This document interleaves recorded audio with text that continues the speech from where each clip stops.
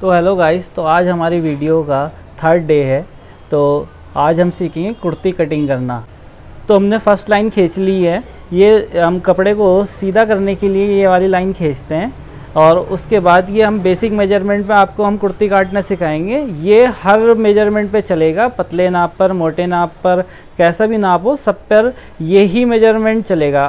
हाँ, ऊपर से ये हमने सेकंड लाइन जो हमने खींची है सिक्स इंच पर और ये हमारी चेस्ट की लाइन होगी और ये हमारी तीसरी लाइन साढ़े चौदह इंच पर होगी। ये हमारी कमर की लेंथ है और उसके बाद ये वाली लाइन हमारी साढ़े बीस इंच पर, ये हमारा हिप है यहाँ पर।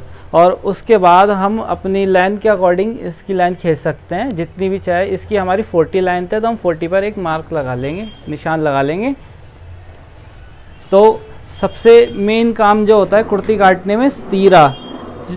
तो बेसिक मेज़रमेंट में तीरा होता है साढ़े छः सवा छः पौने सात। तो लगभग ये हमने इसका तीरा लिया है पौने सात इंच पर। इसकी chest thirty six and half है साढ़े छत्तीस इंच है। आ, तो छत्तीस का ए, एक चौथाई हिस्सा होता है सवा नौ नौ इंच। दो सूत पर एक निशान लगा लेंगे। मैम ये निशान लगाइए आप। तो गाइस ये हमारी कमर का नाप है। बत्तीस इंच। तो बत्तीस इंच का एक चौथाई हिस्सा होता है, आठ इंच। तो हमने आठ इंच पे निशान लगा लिया है और हमारी हिप है साढ़े छत्तीस इंच। तो छत्तीस, साढ़े छत्तीस इंच का एक चौथाई हिस्सा होता है, नौ इंच दो सौ। तो नौ इंच दो सौ पे हम एक निशान लगा लेंगे।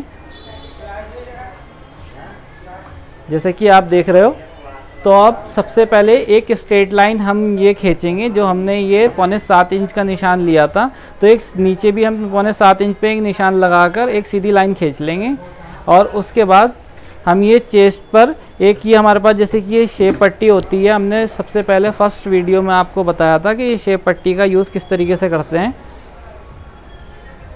तो ये देखिए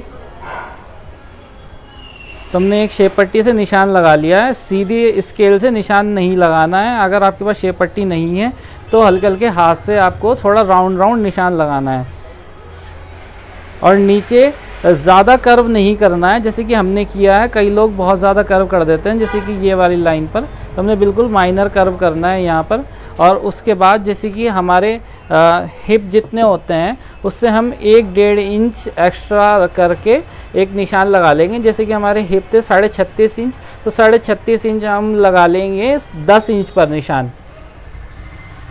दस सवा दस लगभग। अगर किसी को स्ट्रेट कुर्ती चाहिए तो 36 इंच, जैसे कि हिप हैं तो नीचे भी 36 इंच पे ही निशान लगेगा, यानी कि 9 पर। और उसके बाद एक सीधी स्केल से हम एक निशान लगा लेंगे, जैसे कि ये मैम लगा रही हैं।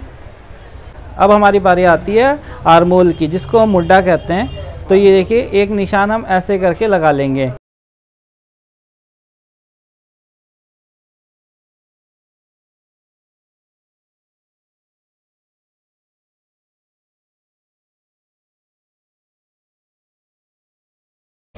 तो हमने ये पहले से ही एक निशान लगा लिया है। ये जैसे कि आप देख पा रहे हो, ये ये देखिए, जैसे कि मैम, ये मार्जिन का निशान ले रही हैं। कई बार कुर्ती ढीली, टाइट वगैरह हो जाती है तो उसके लिए हमें थोड़ा मार्जिन रखना पड़ता है। डेढ़ से दो इंच का मार्जिन रख तो गाइस देखिए, ये मैडम जो कटिंग कर रही हैं, कटिंग हमेशा जो कैंची की नोक से करनी चाहिए। उससे क्या होता है, कपड़ा इकसार कटता है, फिनिशिंग से कटता है, और आराम आराम से कैंची चलानी चाहिए, ना कि स्पीड से।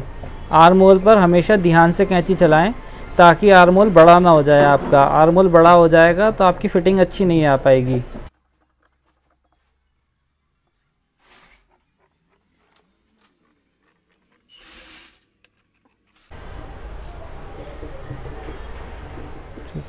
जैसे कि आप ये देख पा रहे हो तो हम इसको, जैसे कि हमारे शोल्डर का निशान यहाँ था तो हम यहाँ से आधा इंच नीचे उतार लेंगे कैंची को।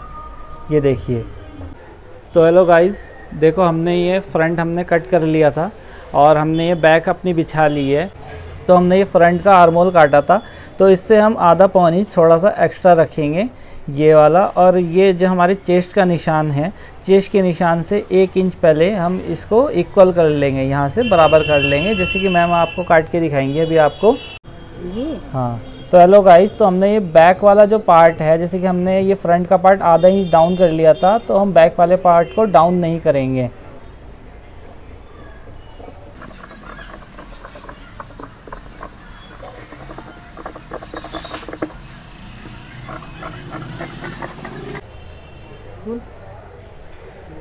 तो दोस्तों देखो ये हम एक साइड से ऐसे नाखून के ज़रिए हम ऐसे निशान लगा लेंगे, जैसे कि हमने यहाँ पर ना, एक नाखून, जैसे कि मैम आपको दिखा, लगा के बता रही हैं, ऐसे नाखून रखा और निशान लगा लिया। उससे क्या होगा कि हमें इंची टेप लगाने की ज़रूरत नहीं रहेगी। इंची टेप खाली फॉर्मेलिटी के लिए हम इस्तेमाल कर सकते हैं। तो दोस्तों, ये देखो, हमने ऊपर मोड़ने का मार्जिन रख लिया है बाजू के अंदर, और हमारे बाजू की लेंथ थी 12 इंच, आधा इंच हमने सिलाई का मार्जिन ले लिया है। और मैम ये दिखाइए तो ये वाली लाइन हमने आरमोल की राउंड करने वाली लाइन ली है, साढ़े तीन इंच की। और ऐसे हमारे ये वाला दिखाइए ना आपके, मैम। ऐसे ऐसे। तो तो दोस्तों हमने ये वाली लाइन ले ली है आठ आठ इंच पे। हमारा मुड्डा जो है, आठ इंच का आरमोल है इसमें। और ये इस तरीके से हमने एक राउंड ले लिया है। इसको हल्का हल्का सा यहाँ से कम से कम तीन इंच के बाद हमने राउंड लेना शुरू करना है। अगर आप ऐसे करके सीधा स्ट्रेट ऐसे काट दोगे बाजू बैक से जो फंसती है, वो इस रीज़न से फंसती है, कई लोग इसको सीधा सीधा ले लेते हैं थोड़ा सा इसको लेके चलना पड़ता है ऐसे। ठीक है? तो हमारी गोलाई, बाजू की गोलाई साढ़े साढ़े नौ इंच है, और उसके बाद ही हमने एक सीधी लाइन खींच ली है। तो मैम, ये कटिंग करके दिखाएँ आप। और हमने एक से, डेढ़ से दो इंच का ये मार्जिन ले लेना है, ताकि कभी हमारी लूज टाइट करने लगे तो उसमें हमारे ये काम आ सके।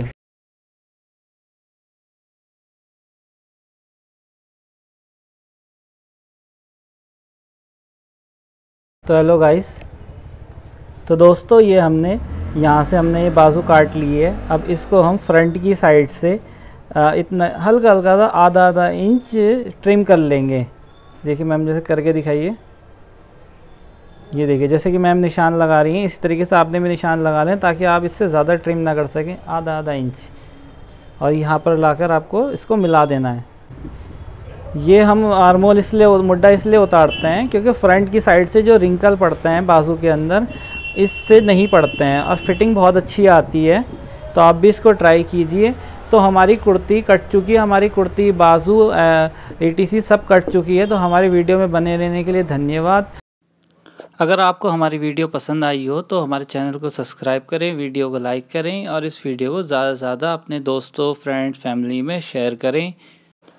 अगर आपको हमारी वीडियो पसंद आ रही हो तो आप हमारे चैनल पे बने रहें और ऐसी वीडियो आपको हमारे चैनल पर एवरी डे मिलती रहेंगी। धन्यवाद।